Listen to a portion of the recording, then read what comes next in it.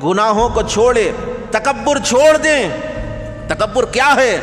अल्लाह के नबी सलाम इरशाद फरमाते हैं, अल्लाह के नबी ने इरशाद फरमाया कि अल्लाह फरमाता है कि तकबर मेरी चादर है। क्या है? तकबर मेरी चादर है। जिसने तकबर किया, उसने मेरी चादर को छीनना चाहा।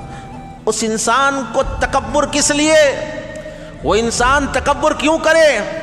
मुहदस दकन सईद अब्दुल्ला शाह साहब किबला रहमत फरमाते हैं कि इंसान की नाक में से गिलाजत जा रही है, आँखों से गिलाजत जा रही है, कान से मैल निकल रहा है, वो इंसान जो गिलाजतों का कुप्पा है, गिलाजतों का मंबा है, वो इंसान तकबर कैसे कर सकता है? तकबर तो अल्लाह की ज़ात को जेब देता है तकबर उसकी ज़ात को जेब देता है। ये ख्याल निकाल दें, आज यही ख्याल है ना? कि मैं आला हूँ मैं लोगों से अच्छा हूँ मैं इससे अच्छा हूँ मैं इससे अच्छा हूँ मैं आलिम हूँ मैं फाजिल हूँ मैं कामिल हूँ मैं फलाह हूँ मैं इनसे बेहतर हूँ मैं इनसे बेहतर हूँ मैं उससे बेहतर हूँ ये चीज़ को निकाल दे हज़रत सईदना अबुल हसन शाजिली रज़ी अल्लाह तु कौन सरकार गौसल आज़म के खलीफा के खलीफा है सरकार पिरानी पीर के खलफा में आपका शुमार है। सरकार सैदना अबुल हसन शाजिली का गुज़र एक पुल पर से हो रहा है। एक पुल पर से आपका गुज़र हो रहा है। छोटा सा पुल है, एक आदमी जा सकता है। एक तरफ़ से इमाम अबुल हसन शाजिली गए, जा रहे हैं। दूसरी तरफ़ से कुत्ता आ रहा है। हकीर जानवर है, कुत्ता आ रहा है। हज़रत ने देखा कुत्ता आ रहा है, चलने का तो एक ही आदमी का है, या ये चले या मैं चलूँ। हज़रत छलांग लगाकर नीचे पानी में कूद गए नीचे पानी गंदा था। मुरीदीन ने ये चीज़ को देखा, हज़रत से दरियाफ्त किया कि सरकार, ये माजरा क्या है? आप कुत्ते को हकाल सकते थे। कुत्ते को हकाल सकते थे, लेकिन आप पानी में क्यों कूद गए? तो आप इरशाद फरमाने लगे कि मुझे थोड़ी देर के लिए ख्याल आया। मैं उनकी बात कर रहा हूँ, जिनका नाम लेना भी इबादत है, औलिया अल्लाह का तरीका क्या था? कहा कि मुझे ख्याल आया कि शायद अल्लाह के नज़दीक इस, मुझसे ज़्यादा इस कुत्ते का मकाम होगा। इस कुत्ते का मकाम होगा, इसलिए मैंने अपने आप को पानी में गिरा लिया। तो बताइए, जब बड़े बड़े बुज़ुर्गों का ये अमल था तो हमको तकबर कैसे जेब दे सकता है? हम, हमारी बड़ाई क्या है? वो इंसान जो गसल का भी मोहताज है।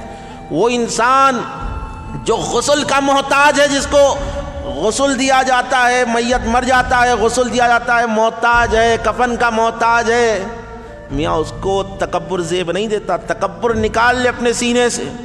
ये सोचे कि सबसे बड़ा हकीर मैं आदमी हूँ। अल्लाह के नबी इरशाद फरमाते हैं, मन तवद वरफ़ल्लाह तरजात अल्लाह के नबी ने इरशाद फरमाया कि जो अल्लाह के लिए झुक जाता है, क्या करता है?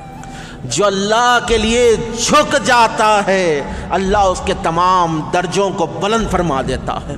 अल्लाह उसके तमाम दर्जों को बुलंद फरमा देता है। तो अल्लाह के लिए झुके।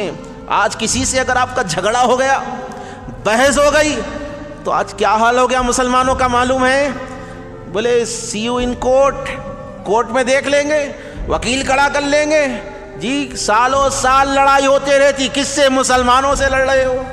मुसलमान मुसलमान से लड़ रहे हैं। सालों साल लड़ाई हो रही है। अल्लाह के नबी इरशाद फरमाते हैं, अगर किसी को माफ़ करने से तुम्हारी इज़्ज़त जाती हो तो मैदान मैशर में मुझसे इज़्ज़त ले लेना। तो मैदान मैशर में मुझसे इज़्ज़त ले लेना। ये सोचो कि वो तुम्हारा मुसलमान भाई है। अरे मुसलमान भाई तो दूर की बात है। आज सगे भाइयों में झगड़ा है। एक दूसरे से बात नहीं करते। एक दूसरे से कई कई वाकयात मैं देखता हूँ। कई वाक़ात आवाम के बीच में रहता हूँ, देखता हूँ कि एक भाई दूसरे भाई से सालों साल बात नहीं करता। सालों साल बात प्रॉपर्टी के मसले हैं, ये मसले, वो मसले है। बड़ा भाई छोटे भाई से बात नहीं करता, छोटा भाई बड़े भाई की इज़्ज़त नहीं करता। ये हालात हमारी कौम के हो। जब घर के अंदर हमारे पास इतिहाद नहीं रहा तो आप मोहल्ले में इतिहाद कहाँ से लाएँगे? घर के अंदर इतिहाद कायम करो, घर को मज़बूत करो। अगर आपका छोटा भाई आपकी बात नहीं सुनता तो इसमें आप ही का जो है नुकसान है, इस, इसमें आप ही का कसूर है। क्यों? आपने अपना बड़प्पन खो दिया है। आपने उसको सही तरबियत नहीं दी। भाई के माने क्या है? क्या आप लोगों को ही समझाते रहेंगे कि दीन क्या है, अखलाक क्या है, घर के अंदर नहीं? बोले, किसी ने क्या खूब कहा? पहले चराग जो है घर में लगाओ, फिर मस्जिद में लगाओ। तो दीन की शुरुआत पहले घर से होनी चाहिए।